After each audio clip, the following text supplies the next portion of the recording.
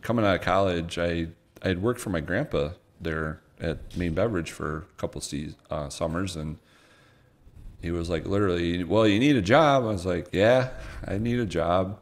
So I started working for him, and uh, that's where I, I stayed for 20. I think I ended up with 25 years in there. And um, first day on the job, I I uh, hand unloaded a wine truck. So we get these um, semi-loaded wine. It was you had to hand stack it back on pallets and it was like 90 degrees and i'm like what did i sign up for here but ended up being a great great career great uh, experiences and i was lucky to uh, lucky to have hooked on with them and um, you know and i started uh, started investing in real estate about 2002 so in my capacity at maine i was uh, eventually made it up to cfo and I was in charge of our uh, human resources and stuff like that. So um, I was like one of the guys that brought in a 401k and mm-hmm. like, hey, this is a good deal, you know, which which it is for some people.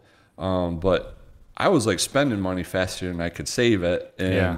and then so when I took that first 30% hit, I was like, how in the heck is this going to work for me? Right. Like, I'm not putting like 70, 60% of my check in my 401 and then yeah and so I, I just got onto real estate and uh, because you know I'm not a rocket scientist or anything like that. I don't have so and it was something I could do while I'm working. And so we started there, bought a house, started flipping houses. Um, Corey Shook, mm-hmm. um, really, I mean, she's the reason we're sitting here today, basically we we had the idea that we're gonna flip houses, and so Kelly and I did that. We uh, flipped eight houses here in Owasso. Ended up with four um, free and clear rental properties. So like, oh, and again, bigger, better, right? I don't, I don't know, but yeah.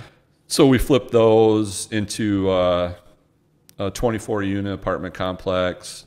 Flipped that into acquired 15 more. Flipped that into 99. So we've just been building since yeah, then. That's how you do it.